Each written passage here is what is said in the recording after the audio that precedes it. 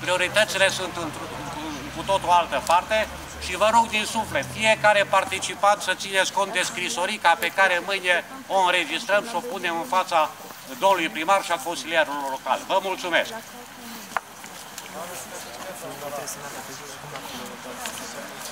Stimați concitadini, uh, în continuare la cele spuse de domnul Marius Bălan, fac apel la dumneavoastră să veniți la ședința de Consiliul Local din 14 februarie. Uh, eu n-am văzut încă ora 14 uh, sau 16. Să veniți să vă spuneți acolo doleanțele care le spuneți și acum. Cred că bistrițenii s-au săturat să vadă că din taxele și impozitele pe care le plătesc, administrația alege prea de acești bani. În salarii nesimțite, aproape o treime din bugetul local se duce pe salariile personalului din primărie. Proiecte megalomanice, în continuarea proiectului cu pârtea Struțo-Cămila, Struțo-Cocoșul. Lucrări de prostă calitate. Uitați-vă tot orașul să fac lucrări și an de an trebuie refăcute pentru că se lucrează prost și sunt recepționate prost. Se repară prost după uh, spargeri, se repară prost trotuarele și așa mai departe. Ajunge cu cheltuirea în acest fel a banului public. Uh, ce mai putem constata? Uh, activități culturale fără, nu, nu culturale, pseudoculturale, fără uh, impact la bistrițeni care închid sume uriașe. Bistrițenii au nevoie, avem nevoie de străzi moderne, avem nevoie de trotuare, avem nevoie de străzi fără grob, de trotuare, avem nevoie de utilități în tot municipiul și în toate cartierele municipiului Bistrița. Străzi asfaltate, apă, canal, uh, gaz, electricitate.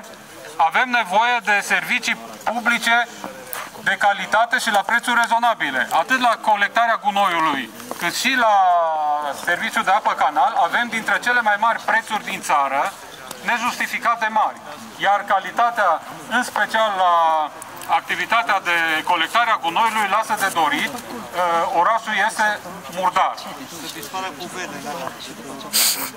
Uh, Bistrița are nevoie de piața Decebal modernizată. Nu o tot amânăm de 10 ani de zile, tot se promite că se face piața Decebal, anul ăsta începe reparația capitală. Păi de ce să reparăm capital când trebuie să o dăm jos și să facem una nouă acolo?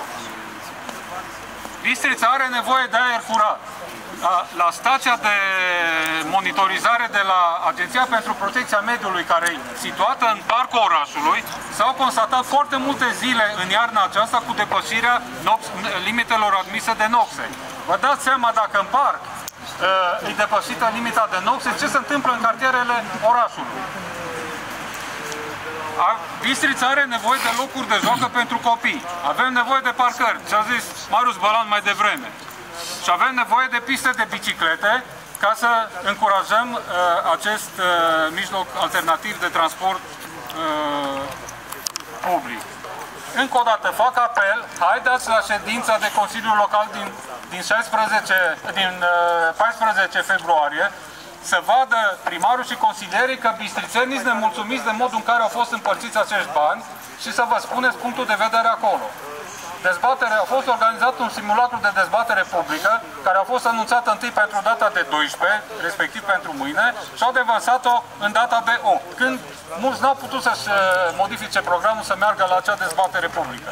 Dar în data de 14, cetățenii au dreptul să spună cuvântul în uh, cadrul acestei ședințe, care este o ședință publică. La ce oră? Marți de la 2. De la 2 la ora 14. Și miercuri de la, de la 14. Bugetul. Comisii marți, comisiile marți și la comisii nu, La comisii nu se poate participa. Ba, da, se poate. Nu, la comisii nu. La consilier. Ascultă-mă că știe că Comisiile numai dacă aprobă, deci comisiile nu sunt uh, publice, dar uh, ședința de Consiliu e publică și mizează primarul mizează pe faptul că lumea nu participă la, la aceste acțiuni ale administrației publice locale și atunci face ce vrea.